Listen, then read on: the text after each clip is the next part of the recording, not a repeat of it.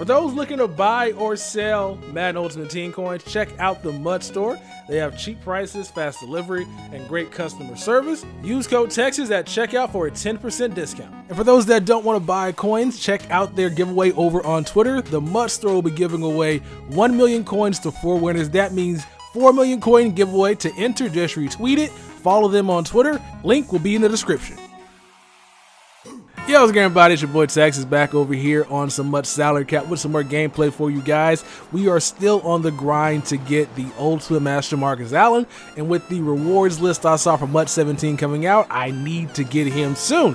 And I'll be having a video coming up later on tonight discussing the MUT 17 loyalty rewards you're getting, so stay tuned for that. But yo, it is insane over here with this mode. For some reason, everybody's playing this now. I don't know if everybody's trying to get invited to the EA competition and maybe get a chance to win some money, but like everybody seems to be over here playing this mode, and I'm running into a lot more guys that pretty much run the same plays. I don't know what play it's called or what formation is out of. I just know you know rush three, blitz two linebackers. It's like cover three over the top, two yellows, and it comes through every single time. Like, it's crazy. I don't know what's going on right now. All these e-books making an appearance with this mode, but if it gets even worse, I think I might have to take my talents back over to Madden head to head. Like I think that might be the move because so far I'm not really feeling this mode. Even though you do get better rewards, of course. Obviously, I won four games. Most games I won is four. And I got like 7,000 coins for those games, plus four collectibles. And if I decided to quick sell those collectibles, that'll be an additional 6,000 coins. So 13k for four, four games. That's crazy good. And I like this mode, or actually it's like five, no, six games. I lost two, but still, that's a lot of coins. And I really do like this mode a lot. It's just all the nonsense I'm not a big fan of right now because even if you guys do get invited down to EA, like a lot of the top guys, again, of course, they still run the e-books as well, but those guys are better than these guys that are running it. They're just trying to get the elite tier status. So we'll, we'll, we'll keep grinding it out. We are on the season 15 and 12, which is not great, but I mean, three of those games I lost because I got kicked. So really, I should be like 18 and 9, but we still lost a bunch of games. This mode's kind of hard as you first one right there. And we do not recover because that's just my luck. Second and 9, our opponents drop back in the pocket, throwing perfect throw. He is using bronze Logan Thomas.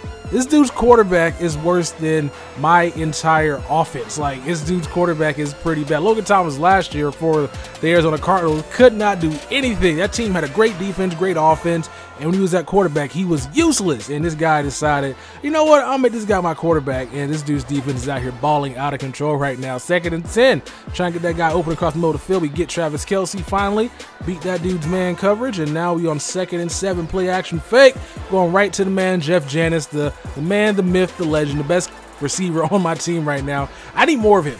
If I can run dupes, I run more of him because he constantly gets open and somehow we get the user pick on a screenplay. I thought I was behind this guy, but I wasn't. Strong power, we get some great blocking, and now we are up by seven. So we scored 14 points on answer, and our opponent has to respond. It's minute 37 left going into the half, and hopefully get a stop because typically what I do with my defense it don't play that well. Like I'm noticing that for some reason, my opponent's defenses always play well as Logan Thomas gets some great yards, man. Like, my opponent has a guy in a light blue, he plays his light blue.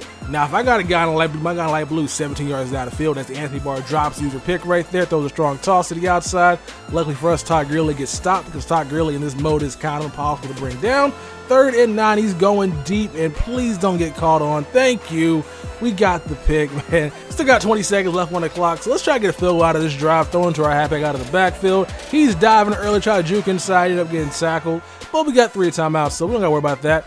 I know the season cover four, so let's run that cover four beater right now, and we get our man Kelce open, and he gets us in field goal range because McManus has that 99 kick power.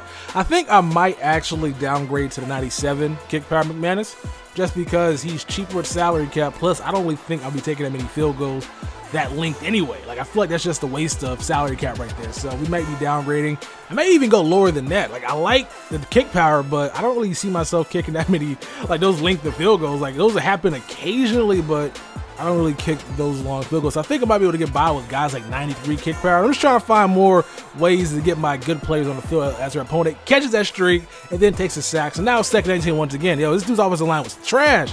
Logan Thomas gets sacked once again. This is one of the best games I have had when it comes to generating pressure.